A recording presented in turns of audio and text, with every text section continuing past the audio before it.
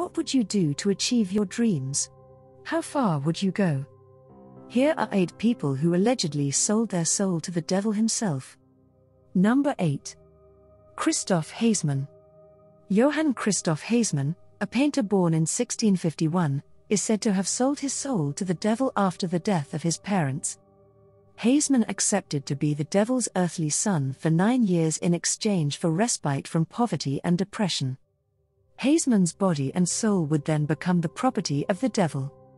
Hasemann claimed to have signed two agreements, one in ink and the other in blood, verifying the pact. The painter was becoming increasingly concerned as the deadline approached. In 1677, he sought assistance from a Catholic priest, who exorcised the young man.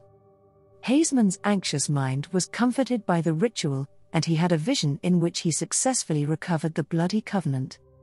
Hasemann sought to have the contract, which had been written in ink, annulled soon after. In 1678, he was granted a second exorcism, which helped him relax. After the exorcisms, Hasemann continued to paint, producing various works depicting his experiences with the devil. Such artwork depicted Hasemann's diabolical visions as detailed in his journal writings. Hasemann joined the Brothers Hospitallers of St. John of God near the conclusion of his life. In the year 1700, he passed away.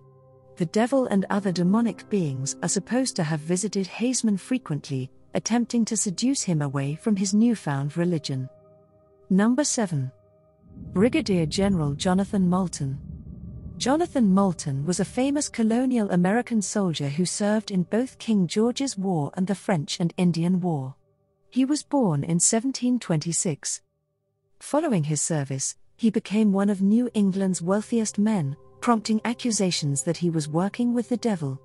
Rumors circulated that General Moulton had made a financial agreement with Satan in which the devil would visit Moulton's home every month and fill his boot with gold in exchange for eternal devotion and the retention of his soul. Despite such a large sum of money, General Moulton became greedy, cutting a hole in the floor above his cellar, which he covered with his boot, which had a recently punched hole in the heel. Moulton may have believed he was a genius, but one should never try to outsmart the devil. When the devil realized what he was up to, he set fire to Moulton's home, destroying the gold coins in the process. Number 6. Antoine Rose. Antoine Rose, the first female on the roster, was a 15th century woman who, under duress, admitted to meeting with the devil on a regular basis she is credited with popularizing the picture of a witch riding a broomstick today. Rose, who became known as the Witch of Savoy, France, claimed to be poor and in desperate need of money. Rose requested help from a neighbor and was led to a group of people who persuaded her to seek assistance from the devil. The devil appeared and agreed to help the struggling woman as long as she refused to worship God and instead worshipped him. A foot and a half stick and a little jar of ointment were also given to her by the devil. She was supposed to apply some ointment on the stick, lay it between her legs, and exclaim, Go, in the name of the devil, go. Rose revealed some of the followers' offerings to the devil in her confession, including dancing and feasting, as well as kissing the devil's hindquarters when he came in the physical shape of a giant black dog. Rose also claimed that the devil had a deep, raspy voice when he was human, and that the first time they met, she was afraid of him. Number 5. Saint Theophilus of Adana. Many consider Saint Theophilus of Adana, also known as Saint Theophilus the Penitent, to be the first person to sell his soul to the devil for social or political success. According to legend, in the 6th century, Theophilus was unanimously elected bishop. Because of his modesty, he declined the offer the position was filled by another individual, who soon made Theophilus' life a living hell.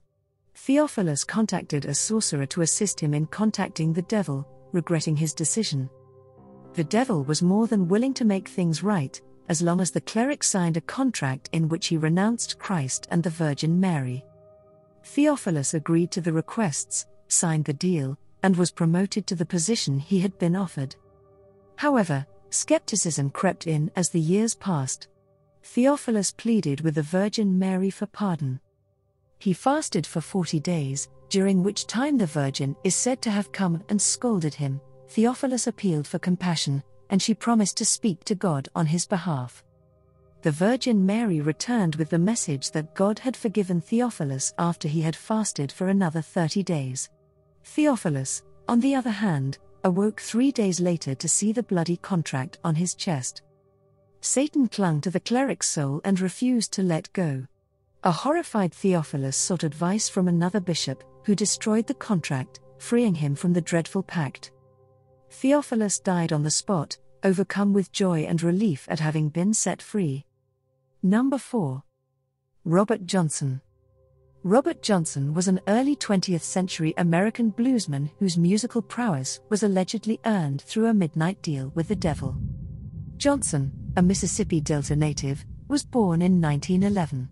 He aspired to musical glory as a young man, and one night he took his guitar to a crossroads in the hopes of summoning evil powers. Johnson's guitar was taken by the devil, who performed a few songs before returning it to the young artist, providing him total command of the instrument. As a result of this incident, rumors circulated that Johnson's drooping eye indicated an infernal link, and that he turned away from his audience when performing to conceal the presence of evil. Johnson, who was 27 years old at the time, died in 1938 under unknown circumstances. Some believe he died of syphilis, while others believe he was poisoned by the devil. Number 3. Niccolo Paganini. Niccolo Paganini, a legendary violinist, was accused of bartering with the devil in exchange for musical prowess about 150 years before Johnson's nocturnal contract. He was born in 1782. At the age of 12, the virtuoso began performing in front of an audience, only to collapse under the strain four years later. At the age of 22, he returned to the music world, presenting complicated arrangements of his own creation. Paganini was the only person living who could properly play several of the tunes since they were so difficult. As knowledge of his talent grew, rumors that his talents were the consequence of an evil pact spread as well. Some even claim to have seen Satan on stage with Paganini during concerts, aiding the musician. Paganini was refused final rites and a dignified burial after his death because of these allegations. His body was finally placed to rest in a cemetery in Parma, Italy, 36 years after his death, a long distance from his home in Genoa. Number 2. Giuseppe Tartini. Another Italian violinist who is alleged to have made a pact with the devil is Giuseppe Tartini. According to folklore, one night in 1713, Tartini was visited by a dark apparition in a dream.